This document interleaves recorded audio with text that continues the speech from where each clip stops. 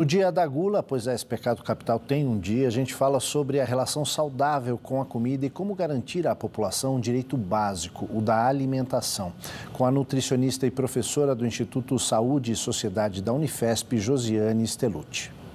A primeira coisa, na verdade, é conhecer os alimentos e quais são os alimentos que a gente considera saudáveis, né? Então, acho que a primeira coisa é a gente ter essa informação e ter, além da informação, tem esse alimento disponível né, para nós, né? Não é só ter o conhecimento de alimentação saudável, saber o que é saudável, mas a gente não tem à disposição esses alimentos, né? Então, eu acho que para mim o primeiro ponto é conhecer isso. O que é uma alimentação saudável que muita gente desconhece, né?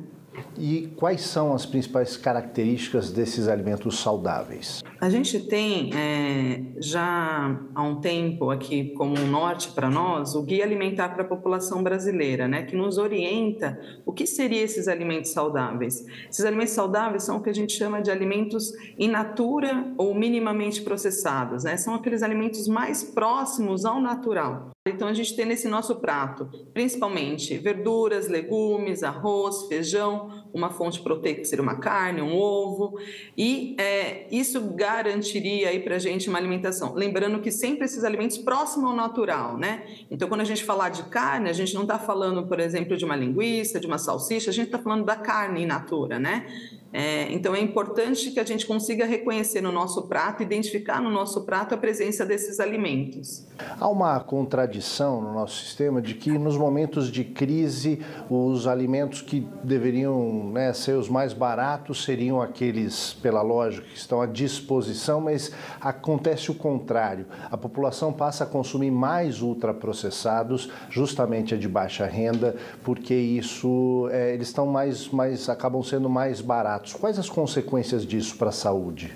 São consequências gravíssimas, né? Porque a gente tem nesses alimentos é, essa composição, né? Alimentos que são ricos em gordura, rico em sal, é, rico em, em, açúcar, e a gente sabe que esses alimentos, esses nutrientes né, específicos presentes nesses alimentos, levam à ocorrência de doenças, né?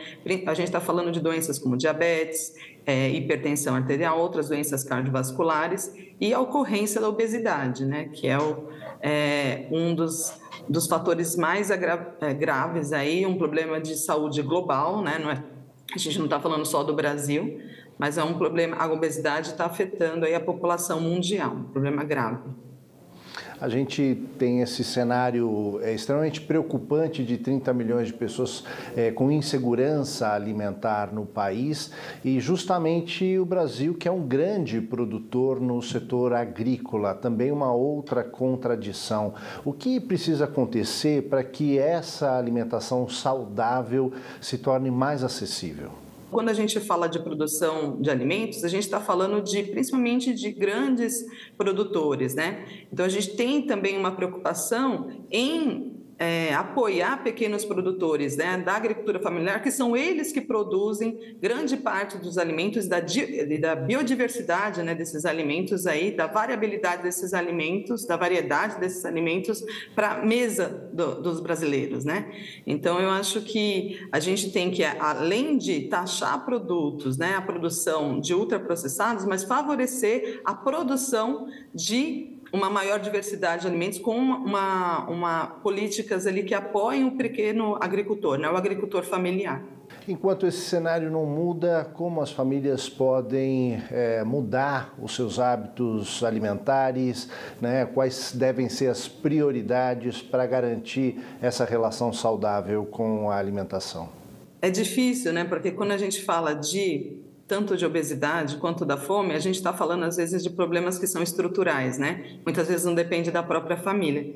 A mesmo, até mesmo quando a gente fala que uma família ela, ela pode não, ela pode conhecer o que é alimento saudável, ela saber o que é, mas ela não ter dinheiro para comprar. Então, isso é difícil. É um problema estrutural é, que tem um caráter político e, e e econômico. Mas a população, claro, ela pode ir em busca, sempre é, que possível, de uma oferta desses alimentos em alguns locais que tenham um preço mais acessível, né? Então, às vezes, a feira livre ou um comércio, é, um, um, comércio mais próximo à sua residência.